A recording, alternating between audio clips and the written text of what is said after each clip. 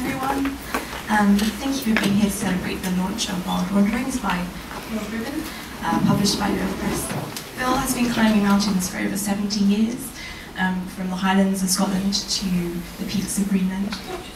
Um, as Chris Bonington said of this book, this hugely approachable and enjoyable book will be a most welcome addition to our bookshelves, and we do hope you feel the same. Okay, so introducing Phil and David to the stage. Thank you very much. Well, uh, when people come to uh, read the book, uh, they will discover that there are a number of tales there from uh, of exploration in Ireland, uh, which clearly weren't done while you were in primary school. No, no, I don't think so. So what was the, the group with which you became Um, associated? I started uh, mountaineering basically by uh, going to university and being associated with the start of the Mountaineering Club. And then later, uh, being in Belfast, a northern section of the Irish Mountaineering Club was formed. And I was one of the founder members of that. And we were about 30 miles from the Mourne Mountains. Uh, eventually, we had an old shack-like cabin there called the Bloat House.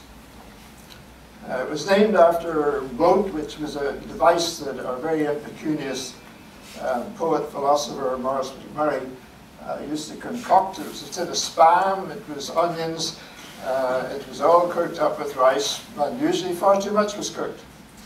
Uh, the result is, allegedly, that he used to take the remainder and put it in a drawer in the kitchen and go back to it the following week, but it was still imperceptibly intact as far as he was concerned. So I started climbing there. I started, is this all right? Yeah, sure.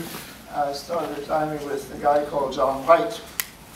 Now he was nicknamed Scout Troop. Why? Because he had the most huge pair of boots. It used to be tradition to wear big boots. And when we stayed in a youth hostel, the noise of him walking across the floor was like a Scout Troop parading.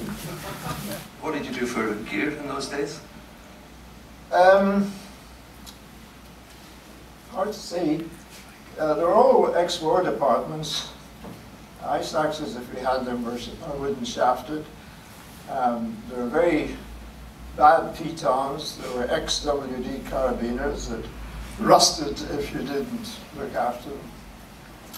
And uh, there must have been ropes. I eventually acquired a rope, and there was a Belfast Rope Works that made ropes, and probably sold them legitimately and passing safety standards. But I got a rope uh, which was less than full weight, um, nylon, I've got terms, triple hazard or something, and it had eruptions all over it. The fiber, fibers were bulging out of the parts of the rope. Now, it didn't really matter because you, never fell off anything. Part of the unwritten rule was you stay on the rock or you don't go up it.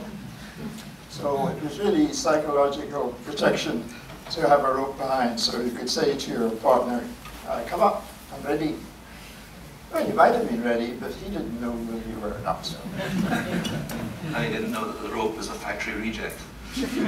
I, I'll tell you, we it's not in the book. All the chapters are tales in the book. T-A-L-E-S. Um, I went with this guy who was English, who was actually a member of a very reputable Scottish club. And I also had a, a friend who came from Dublin, and he talks a different way and has different cultural, political, religious ideas.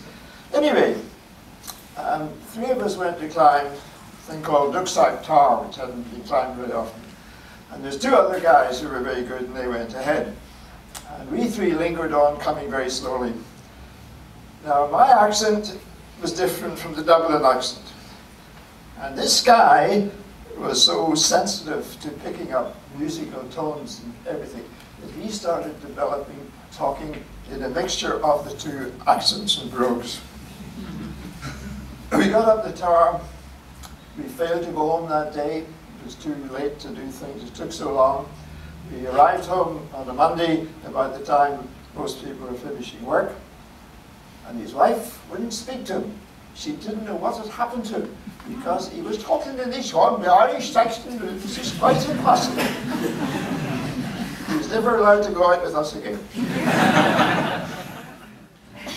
I mean, what's your favourite climbing area in Scotland, would you say? Um, I never had to answer that question, and I would have to think about it. Um, any suggestions? Skye? I think Skye is pretty good. That's really good. Yeah, I've done some interesting, nice things there. Don't like going out in the rain or the wet though. No. So it's,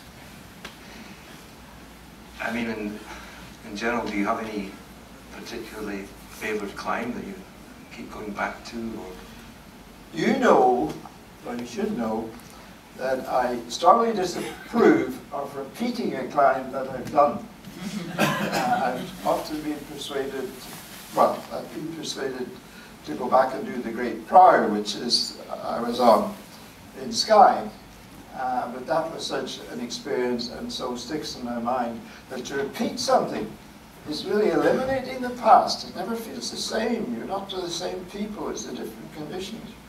Do something once and enjoy it to the full.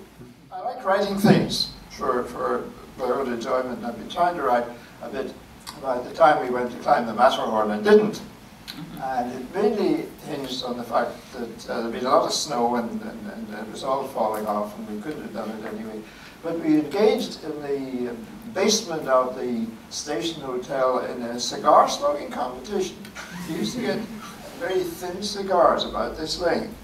And the idea of those who did smoke, most people did in those days, was to try and smoke this cigar without the ash falling off. so you'd hardly breathe, you'd hardly move. The smoke curled up and everybody else got very bored. That's why we failed to try the latter. I really just wanted to say thank you, Phil, on behalf of generations of St Andrews students who, you've been their mountaineering mentor and continue to be their mountaineering mentor. Um, many of us would not have had the careers they would have subsequently developed had we not been introduced to the Arctic, for example. Um, so you have uh, created quite a legacy. I won't say you left a legacy because you haven't gone yet. soon. and uh, a lot of it's captured in the book, which, uh, as our uh, revered Chris Bonington has said, is a, a worthy addition to our bookshelves. You've been learning things. Of course, I would say, uh, all this going away to Greenland now, it's been my pleasure, as you can imagine. Um, it's been enjoyable, it's been a worthwhile thing. A lot of things you do, if, if you which are rather unique, are very, are very good like that. So um, I should also point out that really, if you read this book, I have written it, but all the work from start to finish, even the idea of the book, was not mine. It's David Meldrum's. He's been the editor, he's been the writer, he's been the this, that, and the other. So uh, I just uh, have complete. Um, I said I've got nothing to do with this book.